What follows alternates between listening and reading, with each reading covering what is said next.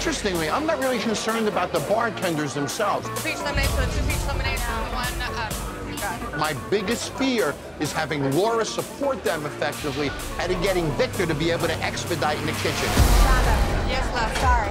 If I need to place this two spicy margaritas and wings. Can I just do it from here?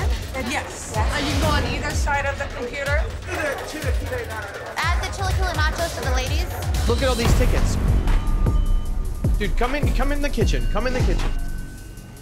Listen, I need you to run the food. You're the owner of the restaurant. Be an owner. You know guacamole? We didn't, we didn't order that one. No? Wait, you did you get the wings? You did the chili. Guys, we're really behind here. We're starting to run, what, half-hour tickets? We're unraveling out there. You've got to get this under control. We've got to get the room served. Bartenders are good. If we can support them, this will work. You had the peach, honey? Pretty wild, pretty crazy. Little intense, I'd say. But I'm still putting a smile on. You can only do so much. We're still waiting on the drinks over there, but I'll bring them out once they're ready. But I really do appreciate your guys' patience.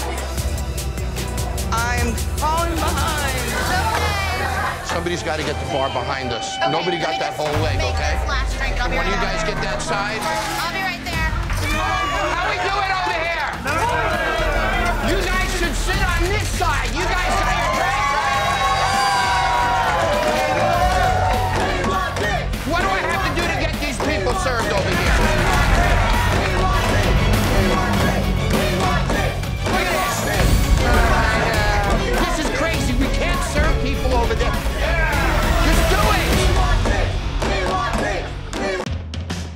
this is Jon Taffer. Click here to subscribe to Paramount Network on YouTube for more Bar Rescue.